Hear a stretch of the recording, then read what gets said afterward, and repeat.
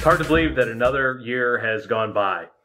And like past two years, we're using the last episode of SAP Developer News to look back on the year, reflect in each of our various topic areas. Before we get into the individual developer advocates talking about each of their areas, I want to talk about uh, what we accomplished as a whole uh, in in the developer advocacy team. We really focused on new developers this year, a lot of our content was focused both on new developers to SAP overall, but also all of you developers that are moving to a new topic. For instance, many of you were trying out the cloud in one uh, way or another for the first time this year. Next year, we want to continue to focus on that kind of content, but in particular, we're going to look at how to bridge the skills gap. We heard from many of you, particularly like at SAP TechEd this year, you feel like you've fallen a little bit behind. There's so much new functionality and new things to learn, and we want to help you uh, make that jump. This year, we also saw the return of various in-person events, including our SAP Code Jam events, and with a little luck, we'll continue to be able to roll out more in-person events, even at a greater scale next year. I think everybody's looking forward to being able to get back together and meet in person once again. We introduced code challenges at a much larger scale, and we want to hear from you. Did you enjoy these little code challenges that appeared throughout the year? And of course, the big one that was part of Devtoberfest at the end of the year. And do you want to see more of these types of, of uh, small challenges that we do in the community groups uh, on the SAP community? And finally, of course, Devtoberfest. Was our big annual event, and this year was our biggest ever super proud of the content that we were able to deliver as part of Devtoberfest, all of which is still available online for your viewing pleasure. So if you missed any of the sessions, holidays are a great time to get in there and catch up on anything. And we look forward to seeing our 10 Devtoberfest winners at the big prize trip coming up here in uh, the first quarter of 2023. So it was a great year overall, and we can't wait to get back again next year and continue delivering great developer content for you. Oh, hey. Hey folks, Rich Heilman here, developer advocate, SAP Devs. Welcome to my workshop. I'm currently on vacation, so I'm not really sure how my boss thinks it's okay to assign a task and make it due during my vacation, but whatever. Uh, I can do more than one thing at a time. So today I'm currently working on a wooden deer which will eventually look like this one that I did a couple years ago. And apparently I need to do a year-end recap for the SAP Developer News as well. So here we go. So first, we need to trace our pieces um, that I've made out of the pieces of paper here uh, onto our material, which in this case is a 12 inch by 24 inch piece of red oak. It's got some very nice uh, grains going here. Uh, I think it, will really pop once we get some, uh, some finishing products on it.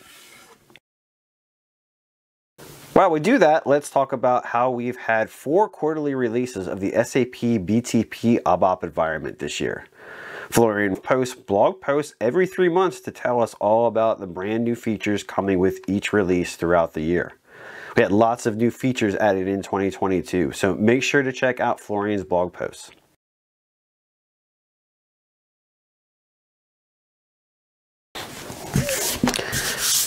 Okay folks, so next we need to cut our pieces out using a jigsaw or a bandsaw. So this could take a while, so let's talk about ABAP Code Jams. This year we started doing the in-person Code Jam events again. We did the first one on ABAP in the Newtown Square offices, and the other dev advocates have done many more on other topics around the world as well. Next year, we are looking to expand on the Code Jam events, especially around the ABAP topic, so stay tuned for more details on that. Okay folks, uh, just wrapped up the, the rough cutting. Uh, Could have went a little bit better, but um, I think I can make that work. Um, again, this is some really rough cutting here. We're going to take it to uh, to the sander and, and, and, round off the edges real nice and, uh, and clean them up. Uh, and then we can move on to the next step, which is uh, staining and, and some clear coat. Which reminds me, ABAP Cloud made its appearance this past fall and was highlighted as part of the opening keynote at SAP TechEd. Once again, ABAP Cloud is the term used for the ABAP development model moving forward, which leads to modern, cloud-ready, and upgrade-stable ABAP apps and extensions. Oh, and make sure to check out the extensibility guide as well. So yeah, things uh, things turned out pretty nicely. There's a there's a couple things that I would probably change here and there, uh, make it a little bit uh, a little bit cleaner, a little bit nicer. But overall, I think it went pretty well. With that, that uh, that wraps up both of my projects here today. Um, thanks for stopping by, and we'll see you in 2023. Bye for now. Thanks, Rich. There has been some really great highlights this year for ABAP. One including our new two minute of series where we provide you with two minute of beginner content for ABAP, such as what is ABAP, mistakes to avoid as an ABAP developer, and many more. Now, for those who are getting started with ABAP, Learnings that SAP provides us with a new learning journey which now offers you 40 hours of free learning and lets you discover how to apply some of the fundamental programming techniques on SAP BTP ABAP environment. Now, ABAP also became available on Exercism, which is an online open source free coding platform that offers code practice and mentorships on 50 different programming languages. Now, you are now able to join Exercism's ABAP track for access to 39 plus exercises that are beginner friendly and free. Stay tuned for upcoming videos, blog posts for beginners and intermediate learners in the upcoming year. 2022 has been a great year for learning in the SAP Tech ecosphere. As Tom already mentioned, we made a conscious effort this year to focus more on the fundamentals and looking at the viewing and reading figures and also looking at your direct feedback, we can see that this was well received. Being a developer is being in a constant state of learning, but not all learning needs to be on the bleeding edge. We can all benefit from revisiting some basics, and this year we did just that, digging in a little deeper too. Miki already mentioned the two minutes of video series on the topic of ABAP, but we also created some two minutes of videos on other topics such as SAP UI5, AI, Cloud Native, and API Basics. We also ran a Back to Basics Fundamentals series on OData, which I'm very happy to say was pretty popular. And talking of building blocks, this year we collectively, I think, leveled up in terms of the building blocks for SAP Business Technology Platform. I think it's fair to say that many of us are now more ready to explore and embrace all the resources that are offered on SAP BTP using all the tools and APIs available. And we're all more comfortable with how those tools and APIs work. I'm looking forward to exploring more fundamentals with you in 2023 in our own usual curiosity driven learning by doing way. Happy holidays. Hola, SAP developers. 2022 was an exciting year in the SAP integration space, and I want to take this opportunity to highlight some of the innovations made available this year.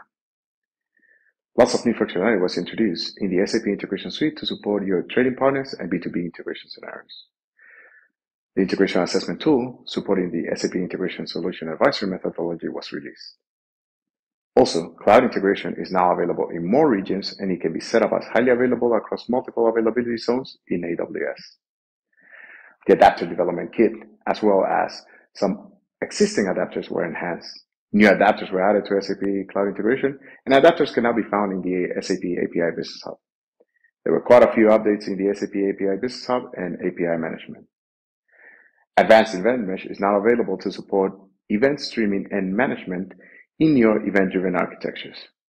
The integration suite user experience was harmonized. Now all our integration artifacts are easily accessible from the main UI. For example, your APIs and integration flows. And last but certainly not least, the Edge integration cell availability in beta was announced during TechEd. 2023 looks like a great year to start planning and executing on your move from SAP Process Orchestration to SAP Integration Suite. Happy holidays and looking forward to what 2023 will bring us in the SAP integration space. Hi everyone. 2022 was an exciting year for all of us developers in the SAP ecosphere. and we tried to cover all of the highlights right here on the SAP Developers YouTube channel. One of my personal highlights in the UI area was the release of wdi5, a brand new end-to-end testing framework for UI5 applications. It's the successor of UIVeri5 and works with the UI5 APIs you already know. It's open source, living in the UI5 community GitHub organization, and version 1 just got released a couple of weeks ago. We used wdi5 this year in the test-driven development inspired SAP Community Code Challenge that we ran in June. And the repo for the challenge is still available on GitHub, so feel free to check it out. If you want to learn more about wdi5 first, check out Volker's fantastic Zero to Hero session that he gave during Devtoberfest this year. My colleague Michelle and I also had the chance to demo UI5 and wdi5 in the Developer Advocates download session at TechEd in Las Vegas this year. Definitely check this session out to see the whole Developer Advocates team in action. Happy holidays, everyone, and see you in 2023. Bye. This year was an exciting year for the SAP BTP SDK for iOS and Cloud Native. I've started a beginner's video series with the name of 2 Minutes of Cloud Native, which is covering introductory topics around Cloud Native like what is Cloud Native, what is containerization, and how does the Kubernetes architecture look like. Around the topic of Cloud Native, we also had a code challenge in July and a Cloud Native Days at Devtoberfest with a lot of beginners content, but also advanced topics like Day 2 operations on the SAP BTP Kyma runtime. You still have access to the code challenge and you can try out the exercises. You also can rewatch all Devtoberfest videos in the respective playlist right here on YouTube. In July, SAP introduced CAP support for the Kyma runtime, which he thought is a huge milestone and an important topic uh, to go into more detail for you. In this year's SAP TechEd event, I have given a demo about how you can deploy your very own CAP project on the Kyma runtime using Paketo build packs, Helm charts, and the CDS command line interface. Lastly, 2022 was a great year for the SAP BTP SDK for iOS. Not only did Jürgen Müller re-emphasize the importance of our partnership with Apple at TechEd, but we also released V8 of the SDK together with full support for the SAP Fiori Horizon theme, bringing you the greatest user experience on your mobile devices. All links to the videos and to the content are in the description of this video. And with that, I wish you happy holidays and a great start into 2023. Hey everybody, Josh Bentley, and I wanted to give you my highlight for 2022. It actually started in 2021. I got to be a co-host at SAP TechEd in Frankfurt, Germany, and on channel one, I learned how to actually highlight segments and do interviews in a very cool way. And I brought that forward with the team into 2022 as the Developer Digest show. Now, I would have different deep dive segments that you may have missed, special interviews. I remember meeting with Jamie Cawley to do a demonstration on the new features in Kyma. Uh, Rich Heilman had some deep interviews with uh, the ABAP team. Lots of great stuff throughout the year.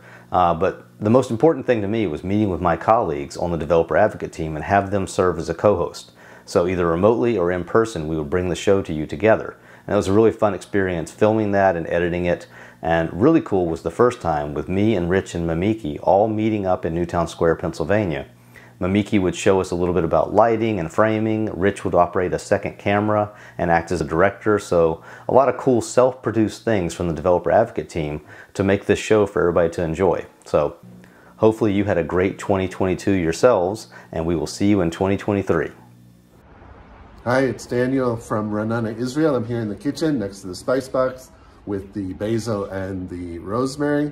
And I want to say the biggest highlight of 2022 bigger than uh, TechEd and being involved in the SAP Build rollout and being part of the demo and that crazy uh, mess up in the middle of the demo.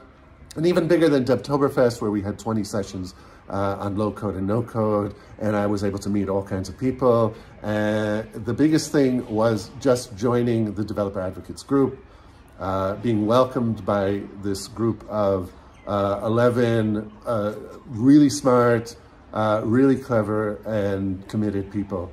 So uh, thank you for welcoming me so graciously. And I want to wish everybody a joyous holiday, uh, really great time with your family, and in the new year, a lot of happiness and success. 2022 is coming to a close and what a year it's been. I was so grateful to have the opportunity to travel to an in-person TechEd this past November and participate in Devtoberfest, and it was a wonderful experience. But that is not the only great thing that's happened this year. The UI5 web component library for React released its first stable version, so no more breaking changes anytime a minor version is released. The new Horizon theme also came out and was quickly supported on the component libraries for everyone to use. There were many more minor releases to different libraries that improved existing functionality and added new components. As a whole, 2022 was a good year for front-end developers. Happy holiday, and for the final time this year, happy coding!